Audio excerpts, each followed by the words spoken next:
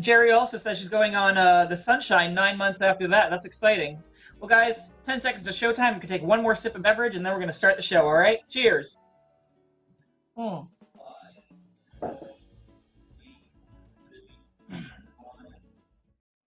On our show tonight, we look at the best cruise ports. We have our photo of the week, the latest cruise news, your questions answered, and a little bit on cruising history. All of this and a big dose of alcohol coming up on Cruise Week TV Live.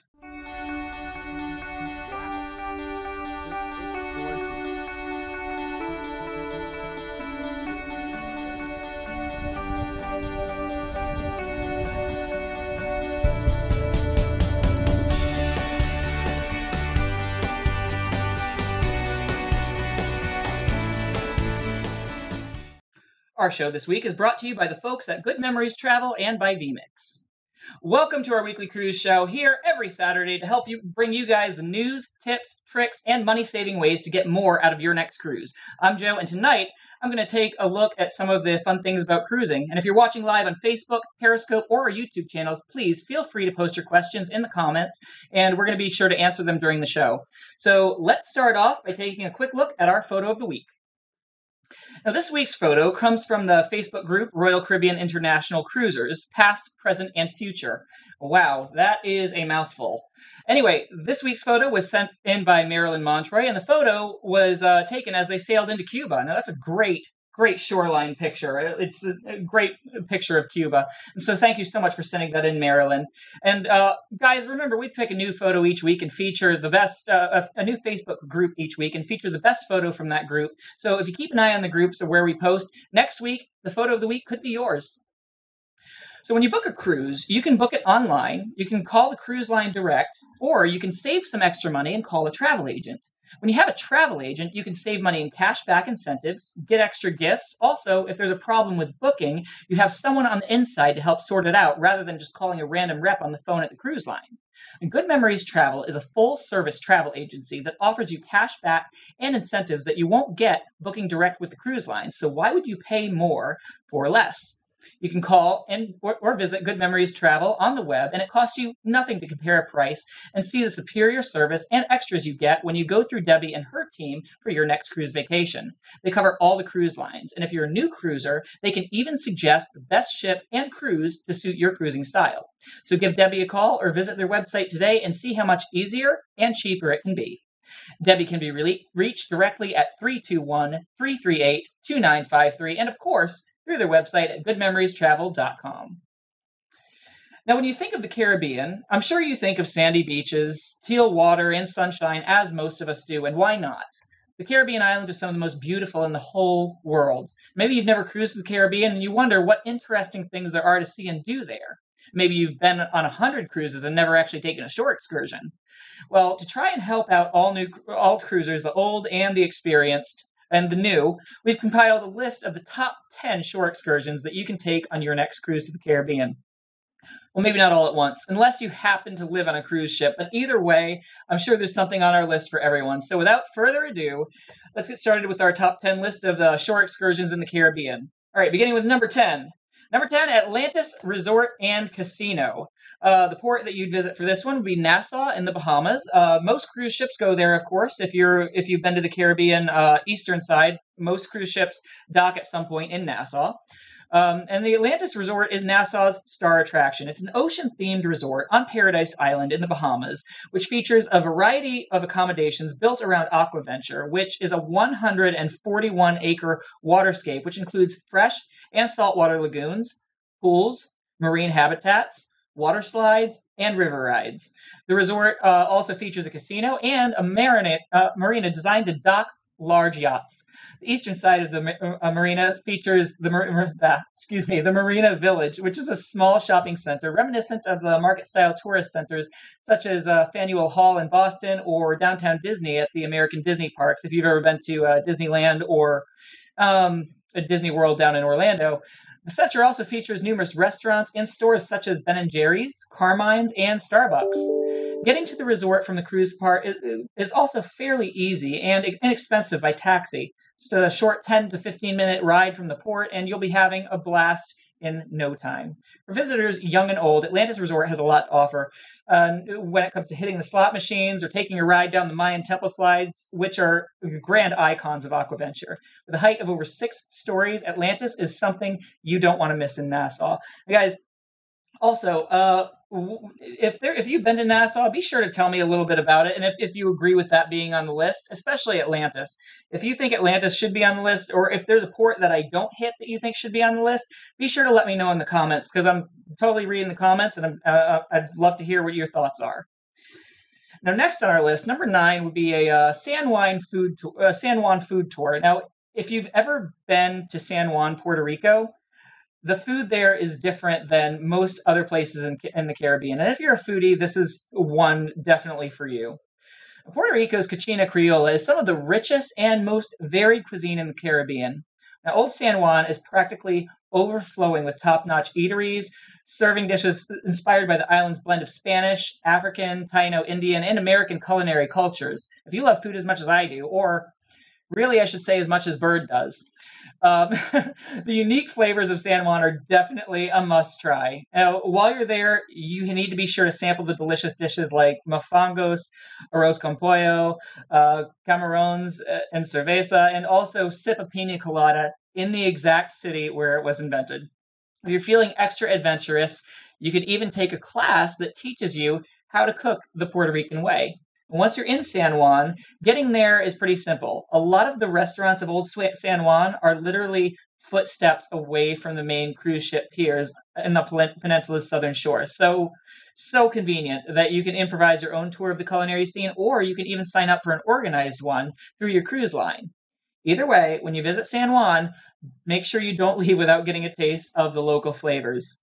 Um, yeah, uh, Jerry Keys says San Juan is a nice city. Jerry, I'll tell you, San Juan is, uh, I've, I've not been there myself, but everyone that has ever been to San Juan tells me it is an absolutely beautiful city. And I hear the same thing about, uh, about the food there, that it's just absolutely amazing, better, different than the rest of the Caribbean.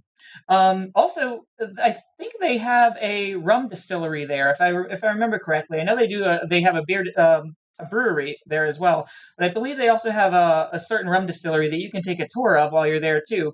So if you're a foodie, that's just just seems like a really good place to go and uh, and and tour the you can tour the distillery and get a taste of the local flavors there. Uh, Charisse Colley, I think uh, Charisse Colley commented about St. Lucia.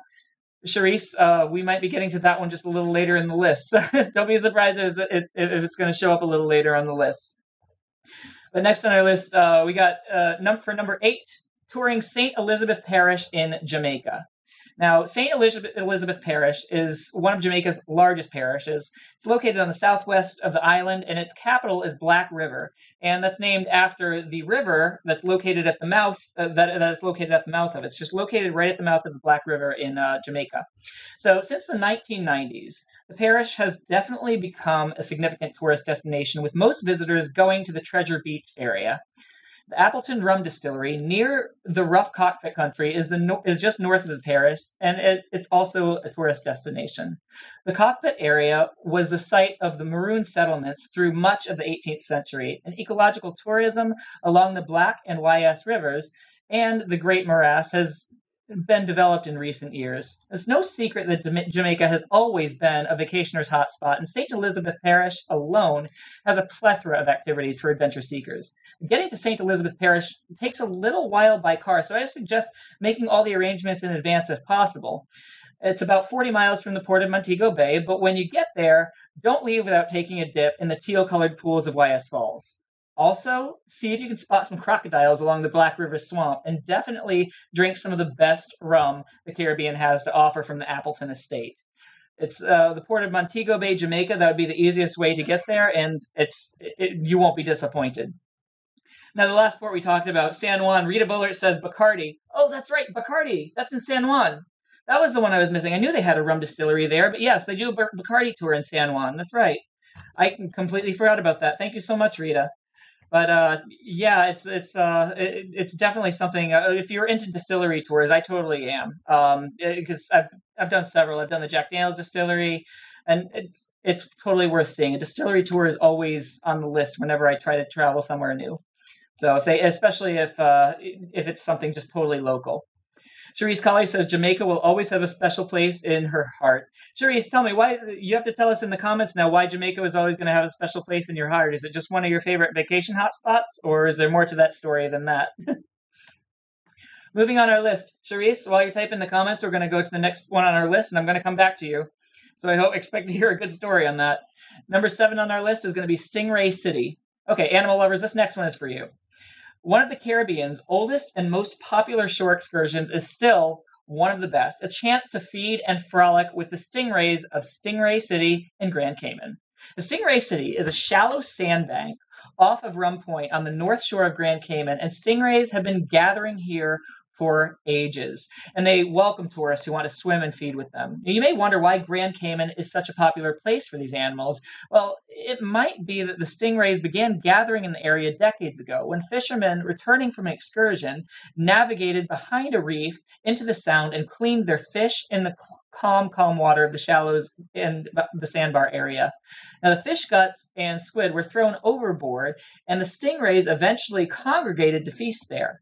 Soon the stingrays even associated the sound of a boat uh, with food. So, as this practice turned into a tradition, divers realized that the stingrays could actually be fed by hand. It's quite an interesting thing.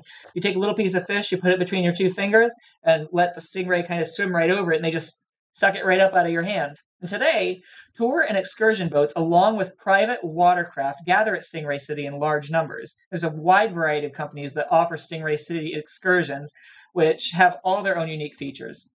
Rum Point lies about three hours by road and 15 minutes by ferry from Georgetown, and it's a twin cruise terminal, so you may want to wake up early in the morning to go swimming with the stingrays.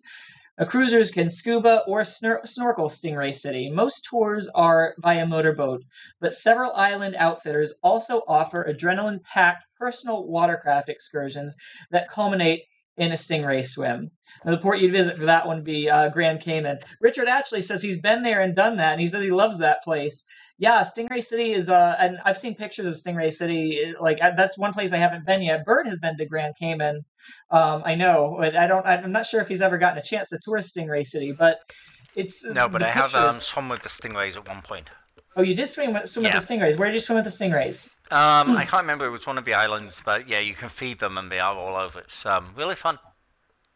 Okay, yeah, it's. I mean, I, have seen the picture. It looks like a lot of fun. It's like it's like a step above SeaWorld. If you've been to that attraction at SeaWorld, where the like where the stingrays swim around in the pool and you get to feed them, you just put the little fish between your two fingers and let let the stingray just kind of like uh swim right over over your hand. Richard actually says they come up and kiss you. Yeah, that's kind of what they do. Yeah, it's like uh, it, it's it, in a way, it's uh, it, it's like because that's how their mouth moves. So it's they're, trying to get the food, but yeah, that's what they do.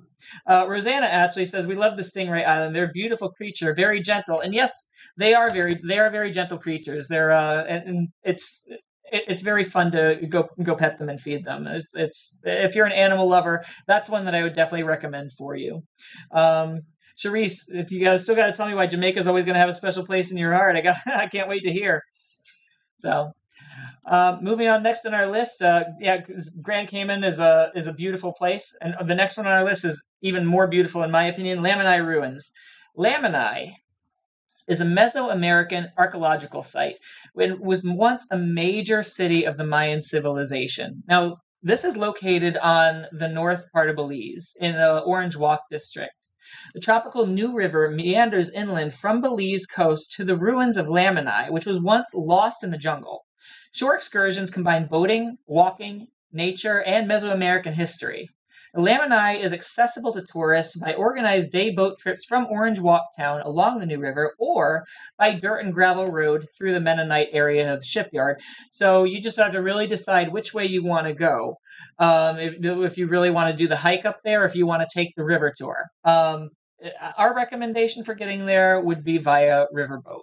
And there's several reasons for that. Now, not that you won't see some really cool stuff walking, but riverboat would be, if you're on vacation, come on, riverboat's a lot more relaxing. Plus, the riverboat wharf in uh, Orange Walk Village is north of the cruise ship tender dock in Belize City. Also, if the history alone isn't enough to get you to Lamanai ruins, maybe the chance of seeing some exotic wildlife is.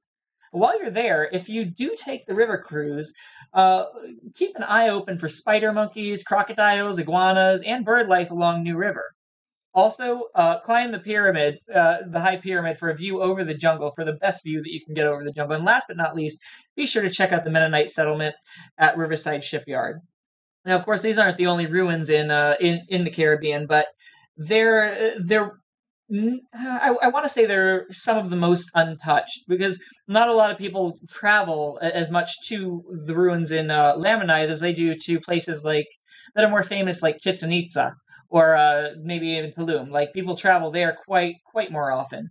So if you if you want to go see some Mayan ruins and you don't want as much of a crowd, I would definitely recommend Lamanai and, and definitely taking the river cruise down there. So uh, yeah, totally uh, totally check that out.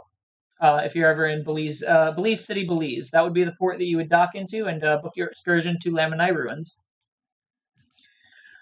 All right, uh, we've got Jeffrey Poole just Pooler just joined us. Is about to go live on the Glory right now. Oh, oh goodness, I'm so jealous of these people that are always on cruises. I need to go on vacation. Only six more days till mine. All right. Next, moving on, underwater sculpture park. And this is one that you guys might have seen on Facebook. You might have seen this one come up once or twice uh, in your newsfeed because it's somewhat uh, it's become more popular in recent years because it's still fairly new.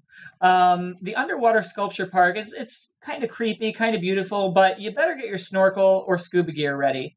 The Molinere Underwater Sculpture Park is a collection of ecological underwater contemporary art located in the Caribbean Sea off the west coast of Grenada, and it was created by British sculptor Jason deCaires Taylor. Crafted by three different artists, Grenada's submerged sculpture gal- gallery sprawled across the floor of Molinere Bay, and among the, its iconic works are the haunting Circle of Children, which if if you don't know what that is, you need to go Google it and check out Circle, the Ch- Circle of Children sculpture. It is kind of creepy to look at, and it's kind of beautiful all at the same time. Um, there's the Lost Correspondent, which is uh, pecking on a typewriter, and, and, the whimsical Man on a Bicycle. All these are underwater, and it's just something about taking these sculptures and putting them underwater just makes them more awe-inspiring, and it just adds it's it's beautiful, but it adds kind of a level of creepiness to them as well. Because uh, after a while, you know, the water just kind of wears on them. They collect seaweed and whatnot. It's but it's really cool, and I don't believe they would have the same impact on land. And since this park is underwater, getting there is going to be a little different. Scuba and snorkel excursions depart from the Grand Anse Beach, 3.5 miles south of the St. George's Cruise Terminal. Um, off, and of course, scuba diving is the ideal way to explore the sculpture garden because you can get right down among the figures. Now, if you don't have an underwater camera, I would recommend you probably plan one if you want to go visit the sculpture garden because you're going to want to take as many pictures down there as possible. Um, and uh, get, so get your underwater camera ready for Instagram, or should I say Instaclam? uh, that's a joke. Clams because it's underwater. Okay, anyway, um, it was funny. It was a funny joke. Birds like birds like making fun of me in my ear. Anyway, uh, says he's been she's been to both ports. Couples uh, couples Negril, however, an adult inclusive in Negril. Sunset's beautiful. Nude catamaran, catamaran trips to Rick's Cafe. Nude and prude size. There, I'm seeing the word nude a lot in this comment. it sounds like you had a uh, either way, Cherise. It sounds like a great vacation. Anytime you have to say nude more than three times, it's. it sounds like uh, Cherise will do anything to save a few bucks on uh, doing laundry on the ship. You know, you, that's actually not a bad way to save money on doing laundry on the ship. Whatever works, and yeah, if you're, you know, if if it's comfortable for you, you're on vacation. That's the, all the excuse that you need. You're on vacation. You do what you want. Cherise, I totally, I, I, I, get you on that one. That's that. I think that's really cool. I'm glad. I'm, and I'm still glad that uh, that uh, Jamaica has a special spot in your heart. uh, all right, moving on. Moving on down our list. Uh, number four on our list: scenic cruise or hike in Saint Lucia. Yes, I told you we might be bringing Saint Lucia back up, and I, I, I am sorry I had to spoil the the fun on that one. But yes, number four on our list: scenic cruise or hike in Saint Lucia. So a few months ago, um, I believe it was December. We had one of our favorite travel bloggers on the show, Haley with a Flair, if you remember. Um, probably a lot of you guys follow her on uh, Facebook, YouTube, Instagram. She travels, she blogs all over the place. Anyway, she had just returned when we had talked to her in December. We she just returned from St. Lucia to tell us all about it. And as I remember, a, a good number of us hadn't been to St. Lucia. I remember reading the comments, and a good number of us had not even been to St. Lucia, and we weren't sure why we should go. Well, as we learned from Haley, St. Lucia is probably one of the most beautiful islands in the Caribbean, and it's no wonder why a scenic cruise or hike in St. Lucia made it onto our top 10 list for shore excursions. Now, Haley had the pleasure of doing one of these uh, hiking trips throughout St. Lucia, and and it, she, the pictures she showed us were absolutely amazing. Although the beaches of St. Lucia draw a number of tourists, other attractions include the pitons, which are two volcanic plugs that rise more than 700 meters directly from the sea and are listed as a UNESCO World Heritage Site. Um, also, there's the Sulphur Springs, the St. Lucia Botanical Gardens, and many, many other tours, some of the, which include zip lining and snorkeling. The island of St. Lucia isn't exactly a large island, so seeing the island altogether is fairly easy uh, for the savvy cruiser, though I hear booking a tour on the island certainly helps when you want to plan to only spend a day. But regardless of uh, how you see the island, go see it because it is really one of the most beautiful islands in all of the Caribbean. And not too many of the islands in the Caribbean have any vol- volcanic activity. So if you w- are interested in seeing some volcanic activity, not something that we see too much of anywhere, um, definitely go visit St. Lucia. It's one of the most beautiful islands in the Caribbean, and that's why it made it onto our top 10 list. Um, so last time we talked, uh, I remember about St. Lucia. I remember not a lot of us went to St. Lucia. Um, if you have been to St. Lucia and you can vouch for St. Lucia being a beautiful destination, please leave a comment in the comment section so I can uh, so so we can talk about it. Or if you feel like St. Lucia might not might be a beautiful island but might not make it be number four on our list, if you feel like there's something else that should have been rearranged, also comment that in there as well. Moving on down our list, uh, a Havana City tour. Now, there's no uh, Havana being a very big hot spot right now. Uh, you have to go there. If you go, go there, you need to definitely book a city tour of Havana to get the most out of your time there um, Havana is a tough place to to go to. You have to have, I think it's you have to have approval for either an educational tour or or, or something something along those lines to actually go into Havana now. Uh, because before the communist revolution, Havana was one of the vacation hotspots of the Caribbean, and since Cuba reopened to tourism in the 1990s, it's become a popular destination once again, albeit with many fewer U.S. citizens due to an almost total ban on travel maintained by the U.S. federal government.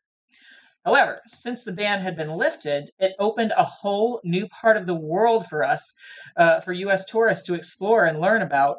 And we've talked about Havana on the show before, and we've seen pictures and videos. And guys, it's almost like a place that has been frozen in time.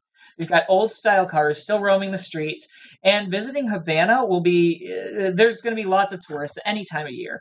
So definitely visit the Museum of the Revolution and the Capitol building, and also see if you can check out a live cigar factory. Cuba, Cuba is well known for their high quality cigars. Um, also, if that's a souvenir that you can bring back that you might not have been able to bring back if you had gone 10 years ago, you can actually you can bring back a Cuban cigar now. You wouldn't have been able to do that a long time ago had you gone.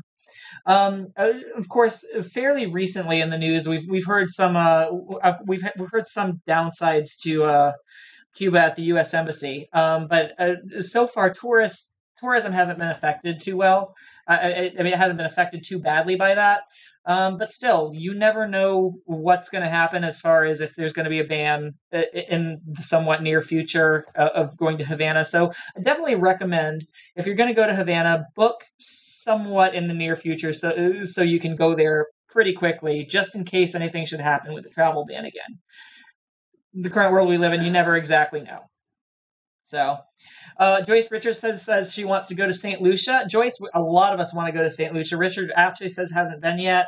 Um, yeah, it's it's that's definitely an island. And after I talked to Haley with a Flair, I, after that episode, it, it just made me want to go to St. Lucia because the pictures that she brought back were absolutely amazing. If you hadn't had a chance yet, um, uh, definitely check out her blog, her Instagram. Um, or check out her her pictures, or go just go to our last show because we got some pictures in there from uh, uh, on the actual show about Saint Lucia. It was a pretty incredible uh, little island in the Caribbean, and not to mention, I didn't know that there were any islands in the Caribbean like in, on that in that specific area that had any volcanic activity. So that was actually a lot of fun to learn about when she was on the show. Um, oh, and she had been to Havana too. She told us a lot about Havana, and we had one more guest who, if you go on Amazon, he has a book out about touring a, a, a quick, uh, doing a quick tour of uh, Havana, Cuba. I'll have to, we'll have to leave that. Bird, remind me after the show. We're going to put that the comment, uh, comment the name of that book in the comments. Alrighty. All right. Uh, next up on our list, the Mayan ruins of Tulum or Chichen Itza. So I had to put both of these on here. Um, the reason I had to put both Tulum and Chichen Itza is because they're both Mayan ruins in about kind of close to the same area of Mexico. Now, it's one's in the the Mexican state of Quintana Roo, and the other one is in uh, Yucatan. So now this one, uh, both of these are accessible from the port of Cozumel. So the Mayan ruins of Tulum and Chichen Itza. Uh, Tulum is the site of a pre-Columbian Mayan walled city serving as a major port for Coba in the Mexican state of Quintana Roo. And Chichen Itza was a large pre-Columbian city built by the Maya people of the Terminal Classic period, and also it's still one of the seven wonders of the world. It's located in Tinum municipality, Yucatan state in Mexico. If you're interested in some really rich Mayan history, either one of these would be a great excursion for you. Uh, bear in mind, Cozumel is on an island, so you need to take a ferry from uh, from Cozumel to the mainland, and then travel by some kind of motor vehicle, whether it be a bus, taxi, um, to whichever site that you're going to go see. Now, travel time uh, to Tulum from Cozumel is about two and a half hours, and it's about four hours to Chichen Itza. I personally haven't been to Chichen Itza yet, but I have been to Tulum, and I can say it is well worth the trip. The Tulum ruins are uh, uh they're they're absolutely incredible. Um, it's like you've never seen something like you've never seen before, and they're uh, right on the edge of a cliff, kind of like overlooking the sea, and it just offers some breathtaking cliffside views. I highly recommend that. Um, also, on either site, you can spot usually hundreds of wild iguanas just sunbathing throughout the day. So uh, if, if, if you've never seen an iguana, go just go see the iguanas. There's lizards like this long, and it's pretty pretty awesome to see. Um, uh, Thomas Burke has actually asked a question about uh, Chichen Itza. Can you still climb those pyramids? Uh, I'm assuming that's about Chichen Itza, the pyramids in Chichen Itza. They don't really have pyramids in the Tulum ruins. They have a lot of other um, interesting sites in the ruins in Tulum. So I don't know, uh, but there are, and, and, of course you can just kind of roam the grounds, and they have like certain areas roped off. But you can go through some of the ruins and check out uh, what the Mayans actually built there. It's it, it's really cool to see. Um, Thomas Burke, as far as Chichen Itza goes, I don't know if you can climb the pyramids or not. I didn't know if they. Uh, I wasn't aware that they ever let you climb the pyramid, pyramids, so that's actually very new to me. Um, but that's something uh, that I'd be interested to find out if you can actually climb the pyramids. I, I would Oh, Bird says no, you can't. I guess he was looking it up. Apparently, you can no longer climb um, the El Castro uh, Chichen Itza. Um, it is possible still to make your way up the uh, tallest pyramid of Yucatan, um, but unfortunately, no. They stopped that in July 21, 2010. July 1st, 2010? That's so recent. I would have figured. Well, I mean, ruins as old as that. I would. Uh, I, I, would have thought. You know, they they would have been. Uh, you know, closed off a long time before that. Uh, wouldn't want to like. You know, for having human activity.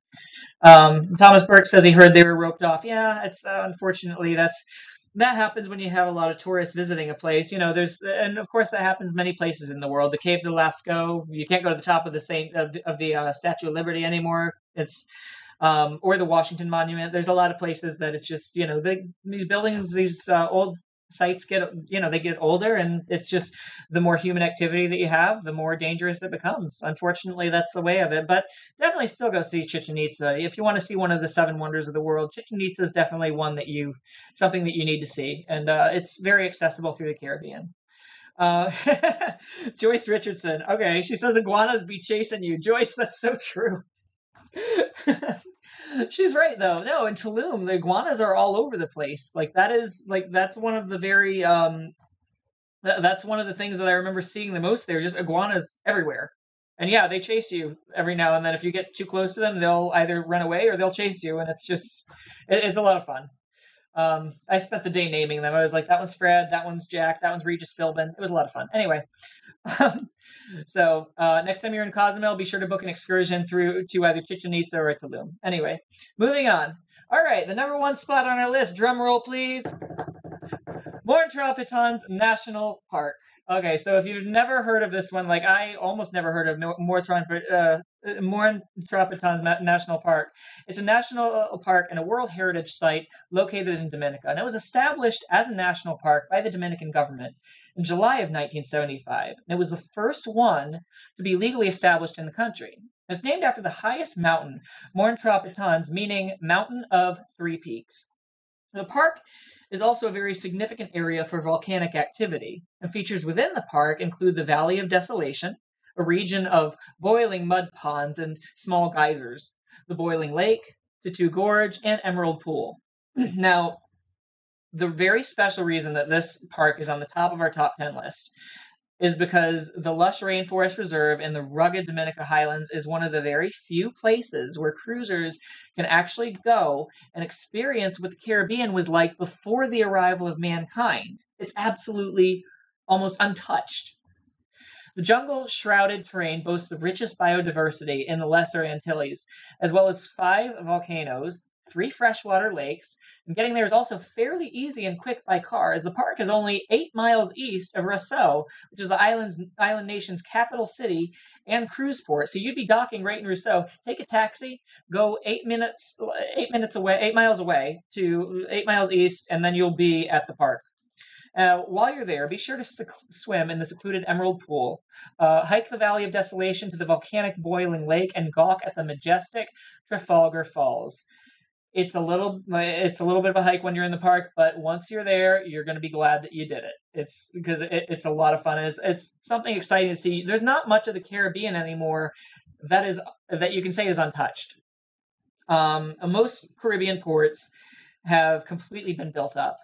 Uh, and that's that's one of the ones that hasn't really been built up yet. Honestly havana is the same way in the fact that it hasn't uh, you know tourism hasn't been that big there for uh, uh, for extremely long time. And, and, and since American cruise ships are starting to come in there now, go visit that one too before it's built up. But definitely go see this. Go see the national park um, in Roseau, Dominica. So if you ever get to travel there, um, go see that.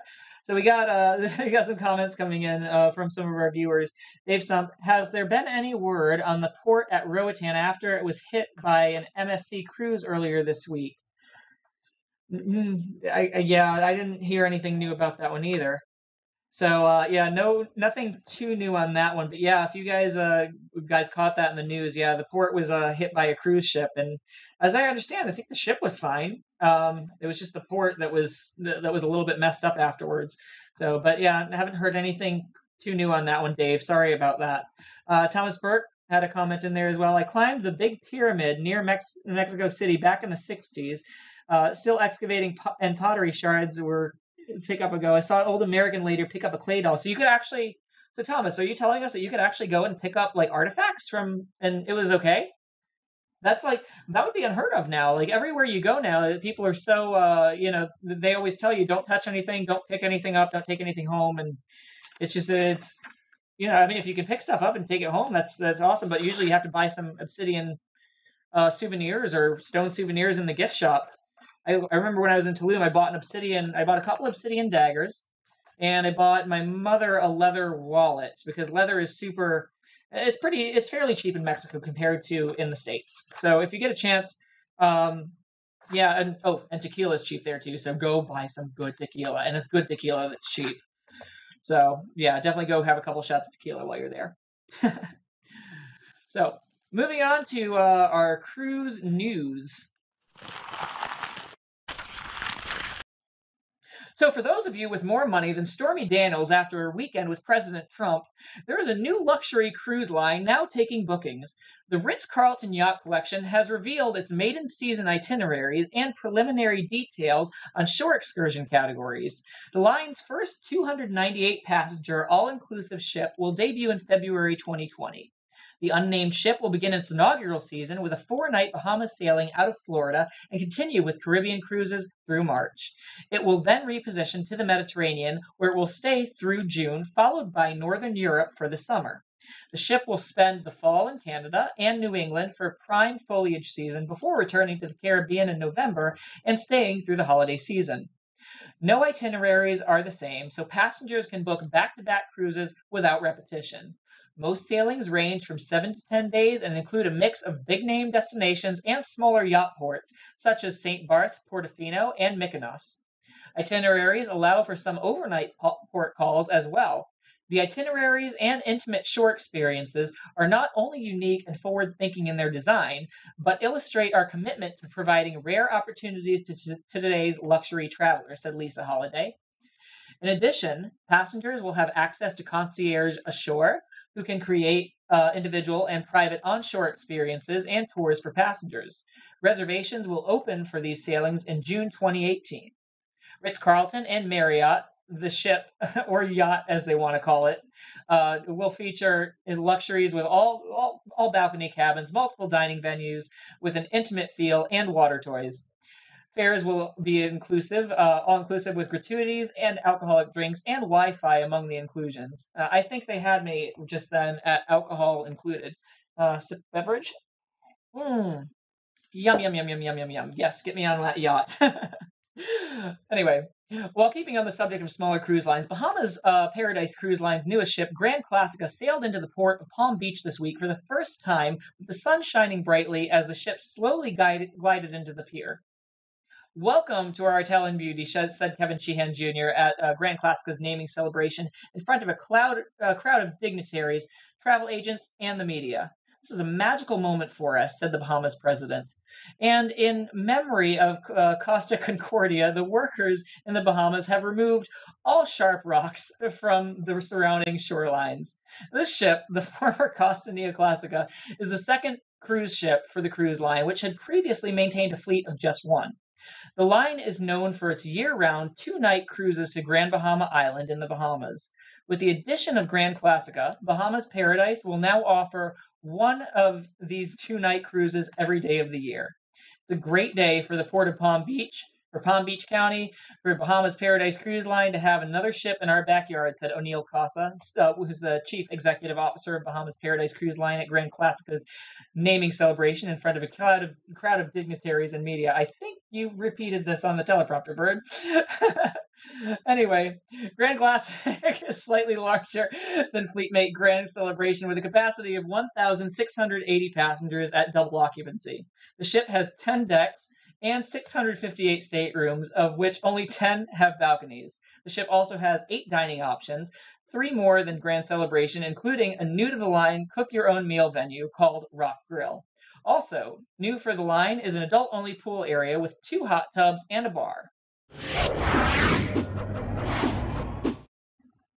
So, our cruise show and all the wonderful abilities that we have to bring in guests remotely wouldn't be possible at the level that we do it without vMix. VMix is the live production software that powers our show and many, many other high end productions, from church services to football games. More and more live productions are running on vMix. And what our producer Bird really liked when he was trying to improve our show was that they give you a full 60 day trial of everything. And that way, you can test it out risk free before you buy for a full two months. And then they have systems starting at just $350 up to $1,500, depending on your production requirements. If you're going to do any sort of serious live streaming, you need vMix. So try it at vmix.com today. Uh, Thomas Burke got back to me just now about about the uh, clay doll. She he says uh, the uh, the clay doll he saw on at Antiques Roadshow for fifty thousand dollars.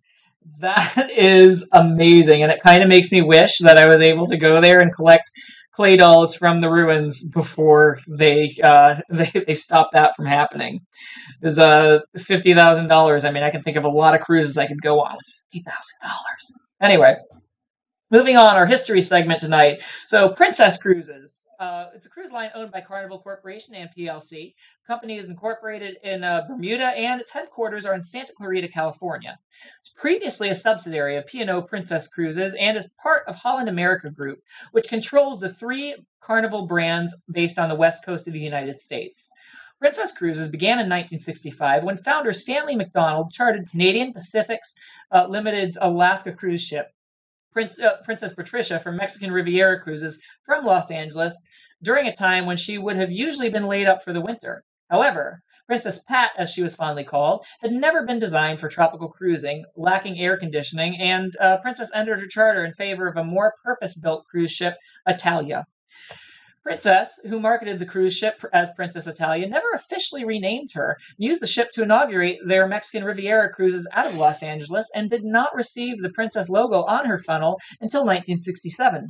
And in 1969, Princess Italia was used on Alaskan cruises from San Francisco, but in 1973, the charter was canceled and Italia returned to Europe on charter uh, to Costa Cruise Line. Britain's Peninsular and Oriental uh, Steam Navigation Company, which is also known as P&O, uh, which by 1960 was the world's largest shipping company with 320 ocean-going vessels, acquired Princess Cruise Lines in 1974, and their Spirit of London, uh, originally having been Norwegian Cruise Line steward, was transferred to the Princess fleet, becoming the first Sun Princess. On October 23, 2000, the Peninsular and Oriental System Navigation Company spun off its passenger division to form an independent company. P&O, Princess Cruises. The company subsequently merged with Carnival Corporation on uh, April 17, 2003, to form the world's largest cruise operating company in a deal with the US $5.4 billion. As a result of the merger, Carnival Corporation and P&O Princess were integrated to form Carnival Corporation and PLC with a portfolio of 11 cruise ship brands. Today, the line has 17 ships which cruise worldwide and are marketed to both American and international passengers. Uh, Richard Ashley, I just got your comment coming in about drink one big one. It's just I'm sipping just a little bit at a time. Cheers. Uh, I get to do that because Bird had earlier put a joke in the script about me and the end alcohol, so I get to do that now. anyway, remember, guys, we have many past videos available for you to watch at our website, which is uh, cruiseweek.tv, which also has links to our t-shirt pages and support pages as well. If you'd like to help with funding our season two trip, or if you'd like to advertise on the show, you can do that with the links from our site. Guys, also, if you know someone who'd like to enjoy watching the show as much as you do, be nice and share this link to their Facebook wall. That way they too can enjoy. Remember, if you share this link out, it doesn't mean less show for you, it just means more show for other people. Also, be sure what was Oh, the, yes. Oh, you wanted you wanted me to talk about these. Okay, the side bands. Yes. Uh, so, yeah. Um, before we go today, uh, there was a reason uh, we had asked earlier in the uh, in the in the pre-show about uh, if you guys got seasick on the ships, because we have a little special uh, gift for you. And I wondered, Bird, I hasn't told me exactly how we're giving these away, but we're going to have these as as a, as a giveaway at some point, um, probably in the near future. So if you have any kind of seasickness problem when you go on cruise ships, we have these lovely side bands. They come in black and white, and it looks like oh they're green packaging, so it looks like they're kind of uh they're, they're disappearing there because of the green packaging. But yes, we have these side bands that are supposed to help with uh, seasickness. I've I'm not quite familiar with the technology myself, but it's if you guys have trouble with seasickness, we're gonna uh, figure out how to give these away. Bird, do you know any? Do you know how we're gonna do that yet, or is that something we want to release? Or we're gonna announce that on next week's show. Okay, so we're gonna um, announce it sure on you're next. Watching. Yeah, so make sure you're watching because we're gonna announce, I guess, on next week's show uh, who's going to be the lucky winner of these bands. So if you're watching, if you have seasickness, tune in next week for sure. that way you might have a really good chance at uh, not getting seasick in one of uh, one of your future cruises. Um, also, yes, be sure to like and subscribe to our YouTube channel and Facebook pages because just doing that alone really helps show our sponsors the support that we have and it helps keep the show alive each week. Uh, plus, you guys get entered into some great cruise swag drawings, things like these side bands, for example so uh, yeah, just but just by watching the show, just keep in mind uh, you could be winning one of those next week. Also, guys, next week uh, I'm gonna be I'm actually gonna be gone for a little while. I'm going on vacation for once. Oh, do we have good music to play for that? No, no, we we pro- no no music. Really, you played Agadoo to annoy me, and you don't have any good music to play for. Okay, I'm going on vacation for once, so Matt is going to be back uh, next week. Also, join Matt and Bird this Wednesday for uh, the cruise ship uh, social live chat at 8 p.m. when we get to know you guys a little bit better in a more casual setting, aka Matt's bedroom. also, Matt is going to be back next week with more cruise news and information from the other ships and the ocean. And uh, I'll be back in a couple weeks after that. And uh, Charisse says, have an awesome vacation. Thank you so much. I will have an amazing vacation, and I'll see you guys in a few weeks. Have a good night, cruisers. We'll see you on the ships.